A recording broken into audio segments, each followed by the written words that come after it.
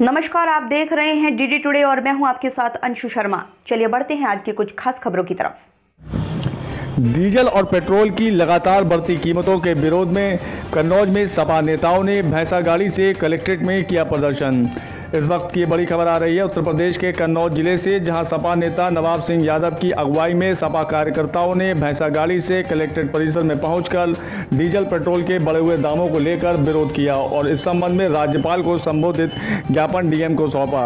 इस अवसर पर सपा नेता नवाब सिंह यादव ने कहा कि दुनिया भर में पेट्रोल डीजल की कीमतें कम हुई हैं, लेकिन हमारे देश में पिछले पंद्रह दिनों में लगातार पेट्रोल डीजल के दामों में वृद्धि हो रही है।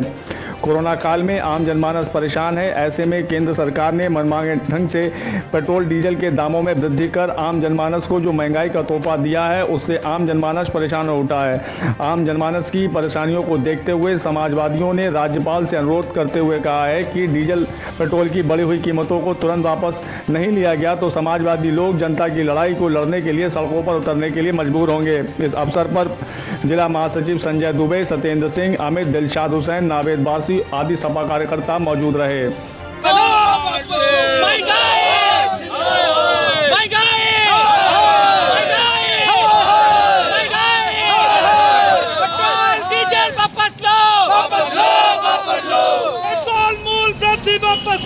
वापस वापस लो लो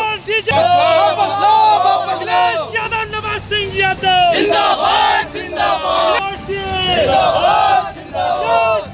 इलेक्टेड में वैसे ठेले के साथ प्रदर्शन किया गया है, क्या मांगे थे आप देखें, जब अंतर्राष्ट्रीय स्तर पर डीजल, पेट्रोल की लगातार कीमतें कम हो रही हैं, दुनिया के सारे देशों में डीजल, पेट्रोल सस्ता हुआ है, तब हिंदुस्तान में 15 दिन से लगातार डीजल, पेट्रोल के मूल्यों में वृद्धि हो रही है।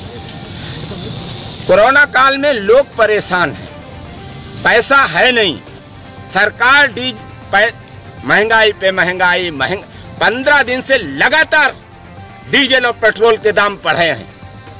हम लोग कानून नहीं तोड़ना चाहते हैं, लेकिन हमें लगता है कि एक दिन वो आना पड़ेगा, आएगा एक दिन, जब हम लोग सड़कों पे उतरेंगे।